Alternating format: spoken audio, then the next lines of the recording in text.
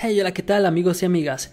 En este video vamos a analizar de rápido el avance del capítulo 4 y también quiero hablar de algo muy interesante. En mi otro canal ya también lo he comentado, veo bastante fricción entre azules y rojos. E incluso en esta imagen del avance podemos ver cómo están muy enfurecidos, en especial David, que es el que está con el puño cerrado, gritando, le vemos que tiene mucho odio al equipo rojo y esto va a ser común en la competencia.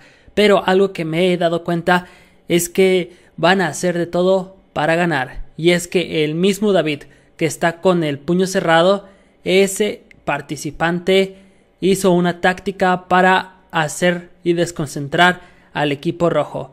Consistía en felicitar a sus compañeros cada vez que daban un tiro, aunque no tumbaran el tótem. Esto con la intención de que el equipo rojo se desconcentrara y dejara de hacer las cosas. Esto ya ha sido muy común, es muy criticado por los fans que los participantes hagan eso. ¿Creen que el equipo azul seguirá haciendo ese tipo de cosas? Y conste que no lo estoy criticando, cada quien juega a su estilo.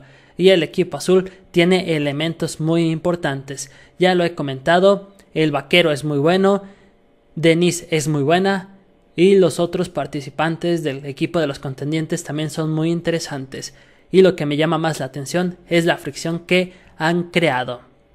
A ver qué saborcito le dan a este reality con este tipo de porras y de enojos. Díganme sus opiniones. ¿Les gusta ver Exatlón de esta forma?